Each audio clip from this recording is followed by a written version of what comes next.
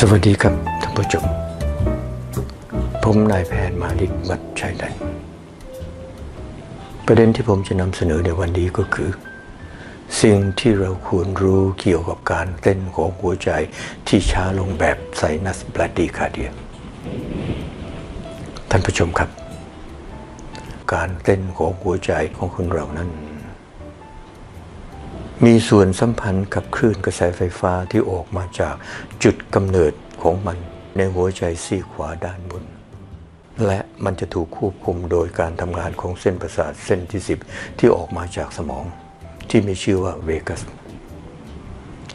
เมื่อใดก็ตามที่คลื่นกระแสไฟฟ้าจากจุดกำเนิดดังกล่าว ถูกปล่อยออกมาน้อยเกินไป มันก็จะทำให้หัวใจของคนเราเต้นช้าลง การเต้นช้าลงของหัวใจดังกล่าว เราเรียกมันว่า sinus bradycardia นั่นเอง ท่านผู้ชมครับ หัวใจที่เต้นช้าลงแบบ sinus bradycardia นั้น มีสองชนิดด้วยกัน ชนิดแรกเกิดขึ้นอย่างชั่วคราว ชนิดที่สองเกิดขึ้นอย่างถาวรในกรณีที่เกิดขึ้นอย่างชั่วคราวนั้น เป็นผลเนื่องมาจากเส้นประสาทเส้นที่สิบถูกกระตุ้นด้วยปัจจัยบางอย่าง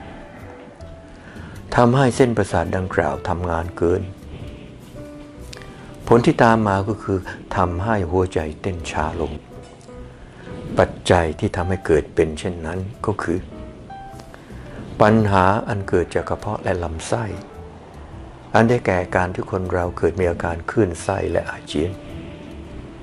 หรือคนเราเกิดมีความเจ็บปวดอย่างเฉียบพลัน หรือคนเราตกอยู่ภายใต้ภาวะความเครียดอย่างเฉียบพลัน อย่างไรก็ตาม หัวใจของคนเราก็จะกลับมาเต้นเหมือนปกติภายหลังจากที่เส้นประสาทเส้นที่สิบกลับมาสู่สภาพปกติ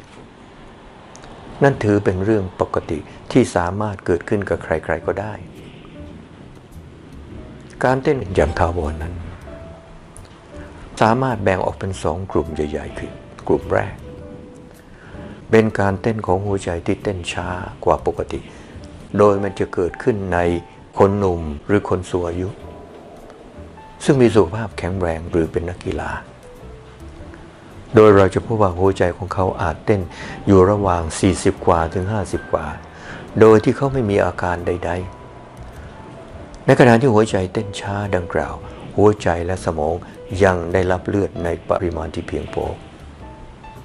นั่นถือเป็นเรื่องปกติ ในกลุ่มที่สองเมื่อหัวใจเต้นช้ากว่าปกติ มันจะก่อให้เกิดอาการ โดยมันเป็นผลหนึ่งมาจากหัวใจและสมองไม่ได้รับเลือดในปริมาณที่เพียงพอ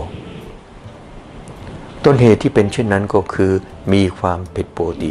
ในจุดกำเนิดคลื่นกระแสไฟฟ้าในหัวใจนั่นเอง ความผิดปกติดังกล่าวเนี่ยเป็นผลหนึ่งมาจากรอยโรค ซึ่งส่วนใหญ่ก็เกิดจากพังผืดหรือแผลเป็นที่อยู่ในจุดกำเนิดคลื่นกระแสไฟฟ้าตามที่กล่าวโดยเราจะพบเห็นในคนสูงอายุตั้งแต่ 70 ปีขึ้นไปทำให้คลื่นกระแสไฟฟ้าผลิตออกมาน้อยกว่าปกติ ผลที่ตามมาคือหัวใจเต้นช้าลง แล้วก็นำไปสู่อาการและอาการแสดง อันเป็นผลเนื่องมาจากหัวใจและสมอง ไม่ได้รับเลือดในปริมาณที่เพียงพอ การเต้นของหัวใจที่ช้าลงในคนเหล่านี้ มันจะเกิดขึ้นทั้งในขณะที่ได้พักผ่อนหรือในขณะออกแรง และที่สำคัญคือคนที่ตกอยู่ภายใต้ภาวะดังกล่าว ควรได้รับการรักษาท่านผู้ชมครับสำหรับวันนี้ผมขอยุติลงเพียงแค่นี้